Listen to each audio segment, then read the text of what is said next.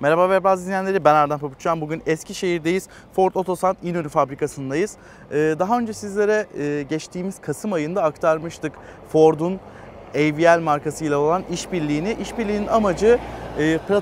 Yani e, aslında şöyle otonom konvoy oluşturma teknolojisiydi. Arkamda da görebildiğiniz üzere e, kamyonlarla, tırlarla bir otonom konvoy oluşturmak üzerine yapılmış bir teknolojiydi ve bu işbirliğinin ilk meyveleri bugün ver, verildi ve e, gördüğünüz gibi arkamızda bir demo e, şu an yapılıyor. Biz de az sonra bu demoyu canlı olarak e, deneyimleyeceğiz. Öncelikle otonom konvoy oluşturma nedir ondan bahsedelim.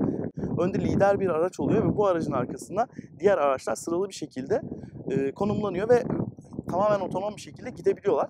E, bu neyi sağlıyor? Aslında bir yakıt tasarrufu sağlıyor. Çünkü bir rüzgar tüneli oluşuyor. Arkadaki araçlarda bir yakıt tasarrufu söz konusu oluyor. İki senaryo olacak dedik. İki senaryoda şöyle olacak. İlkinde e, lider aracın lider aracın önünde başka bir araç yer alacak ve yavaşlayacak.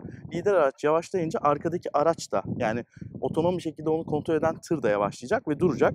Diğer senaryoda ise iki tırın arasında yani otonom bir şekilde giden iki aracın arasında başka bir araç girecek ve bu aracın girmesi nedeniyle iki araç arasındaki e, takip mesafesi artacak. Araç çıktığında ise takip mesafesi azalacak. Bunlar tamamen otonom bir şekilde gerçekleşebiliyor şu an ama şu an sadece bu iki demoyu görebiliyoruz. Dediğimiz gibi Eskişehir'deyiz. Bu şu an demo halinde gördüğümüz e, teknoloji aslında 2022 yılında yollarda görmeyi planlıyoruz. 2028 yılında ise artık dördüncü seviye otonom yani artık insan gerektirmeyen tamamen otonom sürüş seviyelerinde gelmesi gerekiyor.